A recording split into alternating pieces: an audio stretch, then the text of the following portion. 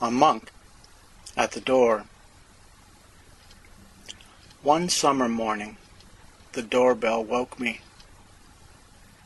When I opened the door, there was a man in a Tibetan robe, wearing Buddy Holly frames. He was a chaplain from the Minneapolis police. He read from a piece of paper in his hand. He told me that my daughter had been found dead in her room. Then I had to tell my wife. Rachel, a man downstairs says Danielle has died. This really happened. It was August 18th, 2009.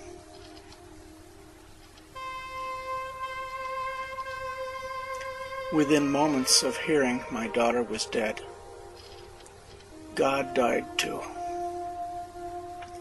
I had put all my trust in His faithfulness. I knew we were on a journey, a journey I couldn't understand, but I trusted in God to see us through. I prayed every day for protection for Danielle from the dangers that surrounded her life. And so, God began to shrink, to collapse to a dot. I could see him disappearing into air.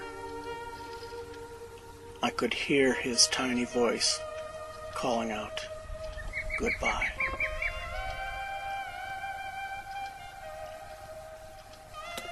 The day of the funeral, a beautiful hawk perched on our backyard lines.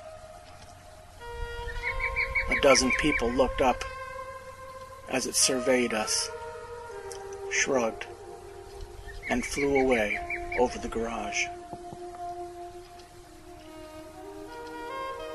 Sometimes, in the fall, down by the river bluffs, I see eagles and herons and ducks. Always a curious sensation that they are not just birds, they are messengers somehow. Here I am, they are saying. I am here. I am everywhere. Winter was hard. Rachel went away. Friends stopped calling. They were sick of my stories. I sat and watched the satellite, and I drank. Sometimes I was so angry I would argue all day with the people who no longer called. Behind their backs, I told them the truth to their faces. Spring came. The trees leafed out and blossomed. One day, I heard a tapping in the dining room.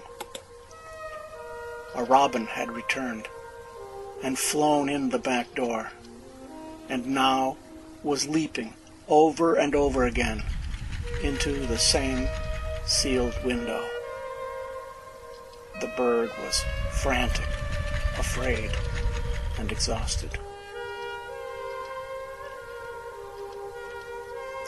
I fetched a plastic Walmart bag from the pantry and slipped it over the frightened bird. As gently as I could, I placed the bag on an open planter in the backyard. The bird sat paralyzed, unblinking, one wing cocked awry. I left the bag and bird alone. And when I returned, minutes later, the bag was empty. The bird was gone. And for the first time, I found myself wondering about something.